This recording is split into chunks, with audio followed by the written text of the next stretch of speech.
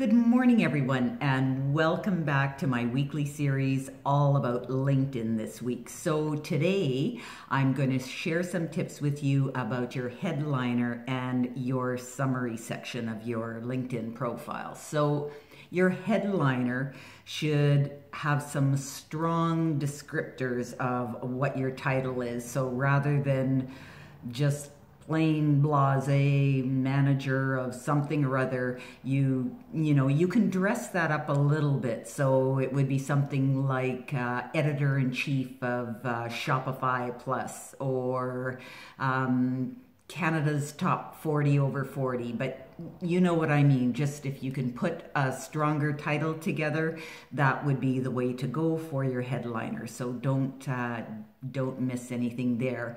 And then the next part is your summary, and you should never ever mention the word unemployed, looking for a job, that kind of thing. That just tells everyone that. Um, you're inexperienced with LinkedIn and it really makes you look like an, an, amateur and you you don't want to do that on LinkedIn. So your summary should start also with a catchy opening statement and you should write your summary in the first person. So don't be afraid to inject some of your personality and connect it to your career um, when you speak about your accomplishments. So people like to learn a little bit more about you on the on the personal side. So you should definitely use the 2,000 characters that LinkedIn generously gives you um, for that section. So